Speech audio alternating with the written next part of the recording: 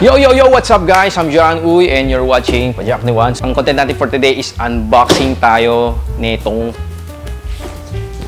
Ken's bike. So nandito ako ngayon sa MT Pro para mabuksan nito. Ang lag- nakalagay sa description niya is Aero Road Bike. Wala pang idea anong tsura ng pinaka-bikes niya. Pero bubuin natin siya ngayon. Pero bago yun, please subscribe and like and click the notification bell para updated kayo sa aking mga bagong videos, okay? Simulan natin, huwag na natin patagalin to. Alright? 1, 2, 3, 4, 5, go!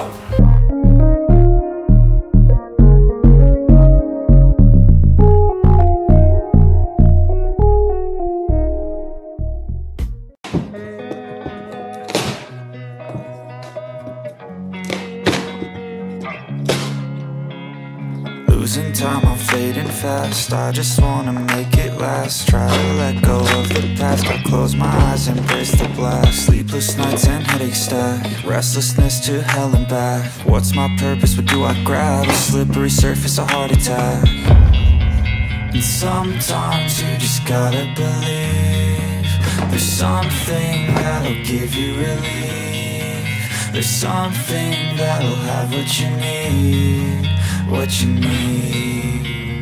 We're broken, it's tragic, we're not all elastic But maybe there's magic, believe you could have it And I know of sadness, the anxious and panic The infinite vastness of all that is blackness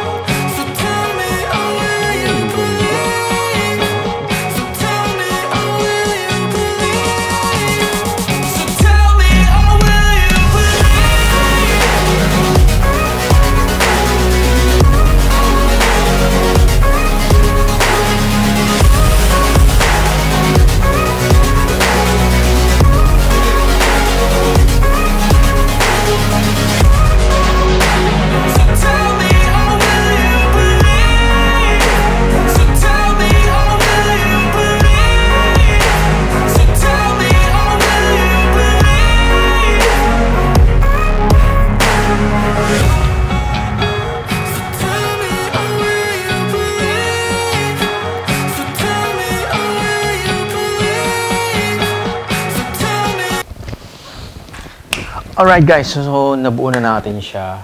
So ito yung kinabuuan na itong Cosmo X3. So this is a aero bike na aluminum frame.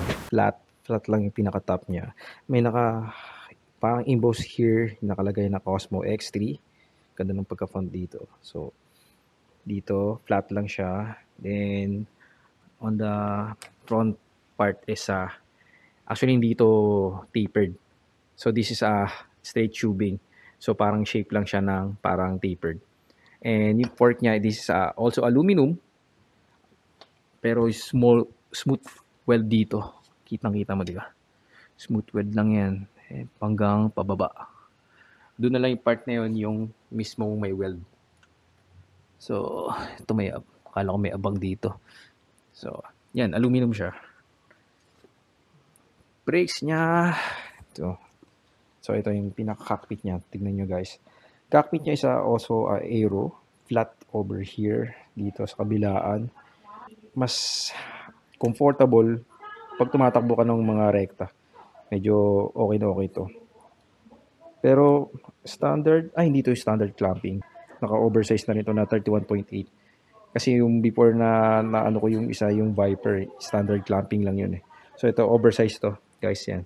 Pero yung stem niya is, I think, naka 90 to. 90 ang haba niya. Tapos yung pinaka, ano ng drop bar, maybe this is a 42 or 41, I think. Tapos yan. Ito naman yung R9. So R9 sa L2O, ah yan ang shifting niya. Dito yung pinaka pababa ng gear. Ito yung pataas ng gear. So ganyan ang setup ng R ng R9.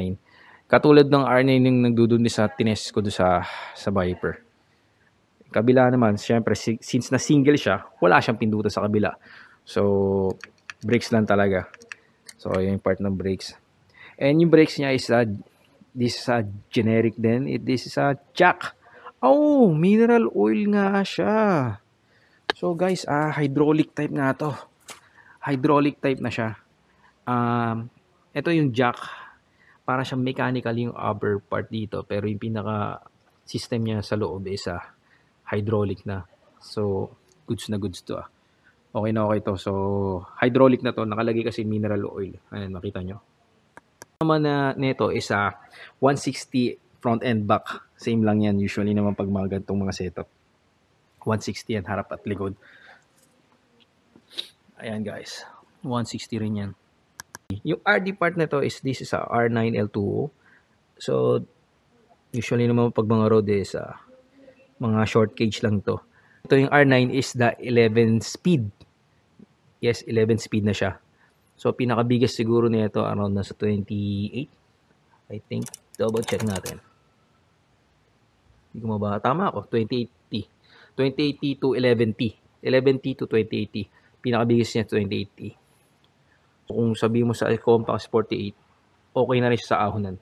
Dahil yung design naman niya is uh, hindi naman malaki to eh.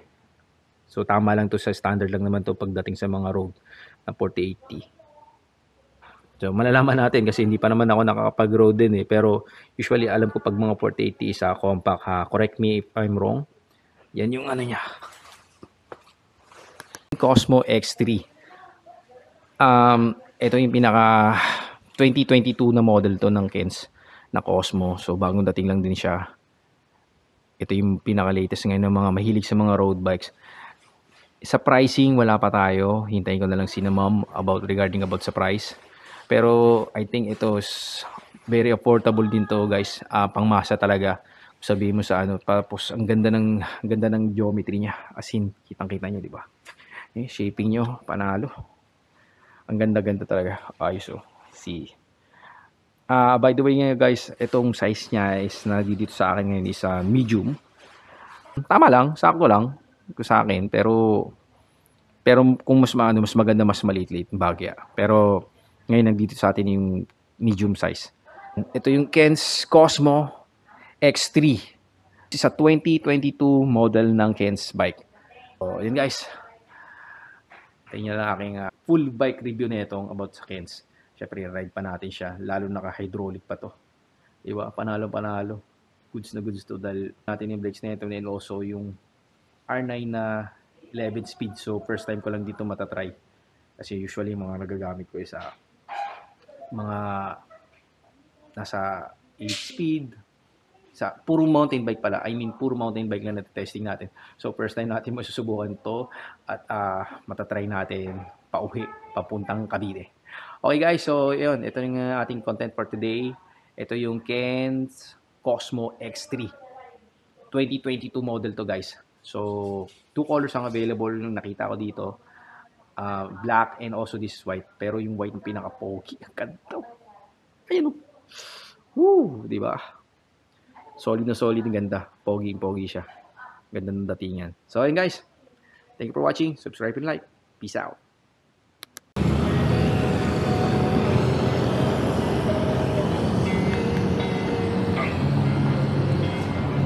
Losing time, I'm fading fast. I just wanna make it last. Try to let go of the past. I close my eyes, embrace the blast. Sleepless nights and headache stack. Restlessness to hell and back. What's my